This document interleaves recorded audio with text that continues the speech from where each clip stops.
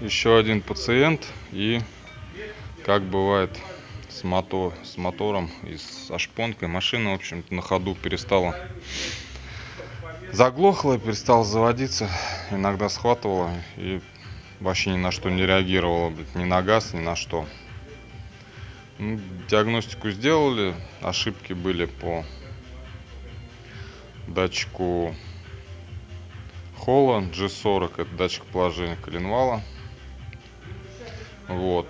Ну и как у нас уже был такой один пациент, что с заводкой были проблемы, решили проверить шпонку. В общем, э, верхнюю мертвую точку первый цилиндр, ну, длинной отверткой, да, под, под, подгоняем и смотрим, где метки.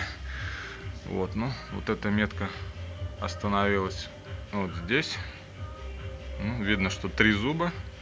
Вот, ну, на коленвале шкив тоже. Вот стрелка остановилась где-то в трех-четырех зубах до него. Ну, сняли шестеренку, в общем, такая вот картина. Паз под шпонку разбит. То есть, ну, а его один край отколот.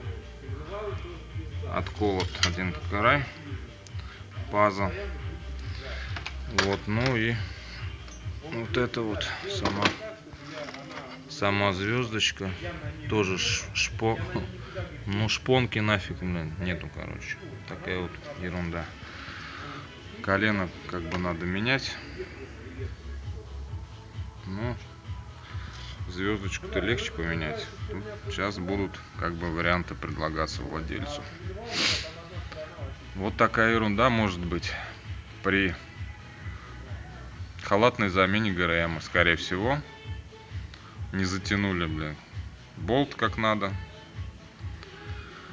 Шестеренку, да. Плохо затянули, блядь, забыли затянуть или что-то, блядь. И вот такая вот, блядь, байда. Ее провернула, блин, и машина заглохла. Так что будьте внимательны в гаражах у дяди Васи, блин. Порой не стоит, блин, делать неупроверенных людей, чтобы не попасть потом на другой мотор или крупный ремонт вообще. Всем удачи на дорогах.